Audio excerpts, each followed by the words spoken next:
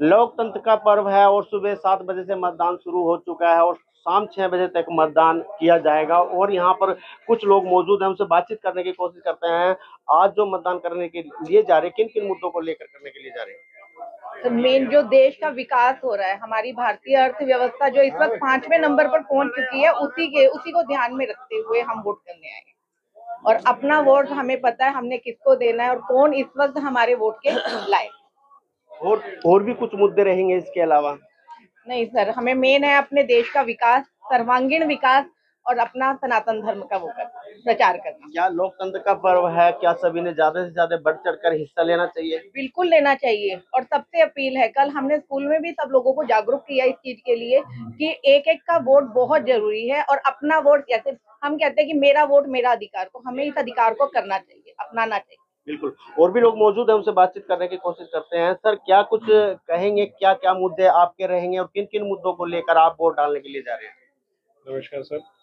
Sir, हमारा तो देखिए मेन ही है कि आज जो हमारी बीजेपी सरकार है, वो शिक्षा को ध्यान में रखते हुए, क्योंकि हम एक स्कूल चलाते हैं तो उन्होंने शिक्षा के लिए भी काफ़ी प्रयास कर रहे हैं और उनकी कोशिश है कि आने वाले समय में जो लोगों को उनकी जो है शिक्षा के तौर पर ही जिस हिसाब से उनकी क्वालिफिकेशन होगी उस हिसाब से उनको नौकरी मिलेगी। नौकरियाँ तो पहले भी मिलती थी लोगों को लेकिन वो एक डायरेक्ट मिलती थी जितना पैसा उस हिसाब से नौकरी मिलती थी। लेकिन जिस हिसाब से हमने उनका इंटरव्यू सुना है तो उन्होंने ये बोला कि जिस लायक बंदा होगा जितनी उसकी क्वालिफिकेशन होगी उस हिसाब से उसको नौकरी मिलेगी। और नौकरियाँ जब मिलेंगी तो बेरोजगारी अपने आप ही खत्म होगी। तो और भी कुछ खास रहेगा? खास यही है कि देश का विकास जो हो रहा है हर चीज़ में आज गरीब आदमी को जो पानी की सिलेंडर की राशन की किसी प्रकार की दिक्कत नहीं है तो गरीब आदमी क्या चाहता है कि उसको जो रहने का मकान मिले खाने का मिले सब कुछ मिले और जहाँ तक हम सोचते हैं कि हमारी जो बीजेपी सरकार है वो बहुत कुछ अच्छा कर रही है और आने वाले समय में और भी जो गरीबों को ध्यान में रखते हुए बहुत कुछ करेंगे। क्या अपील करना चाहेंगे आप?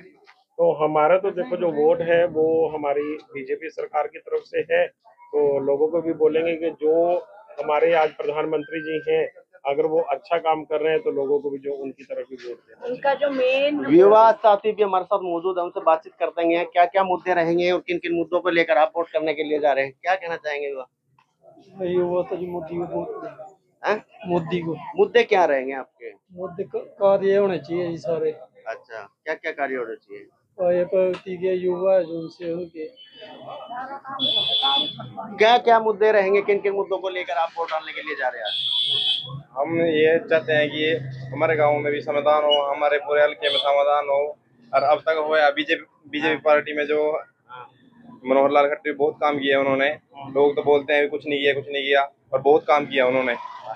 मैं यही कहना चाहूँगा आगे भी मनोहर लाल खट्टर जी बनेंगे एमपी के इलेक्शन में। बिल्कुल, आपको बता दें कि ये थे मतदाता, बिल्कुल इनका साफ़ तौर पर कहना है कि हम वोट विकास को दे रहे हैं, नौकरी को दे रहे हैं, जो जनहित में काम कर रहे हैं, जो देश हित में काम कर रहे हैं, हम उनको अपना वोट कर रहे हैं। मेरे सहयोगी निर्मल संधु के साथ मैं कश्यप, पंजाब के सी टीवी, इंद्री। हमसे जुड़े रहने के लिए हमारे YouTube चैनल को सब्सक्राइब करें और नई वीडियो की नोटिफिकेशन के लिए बेल आइकॉन को दबाएँ। अगर आप ये वीडियो Facebook पर देख रहे हैं तो लाइक ज़रूर करें और ज़्यादा से ज़्यादा शेयर करें। धन्यवाद।